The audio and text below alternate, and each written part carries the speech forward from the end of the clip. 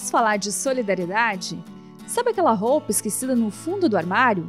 Você pode aproveitar a campanha do Agasalho 2019 e ajudar quem está precisando de doações. Os pontos de coleta na UFSM seguem até 14 de junho, nas entradas dos prédios da Reitoria, do USME, CCS, CAL, CCNE, CCR, CCSH, CE, CEFED, CT, CETISME, Politécnico, IP Amarelo e também nos campi de Frederico Westphalen, Cachoeira do Sul e Palmeira das Missões. Nesta edição, serão arrecadadas roupas de inverno em condições de uso para crianças e adultos.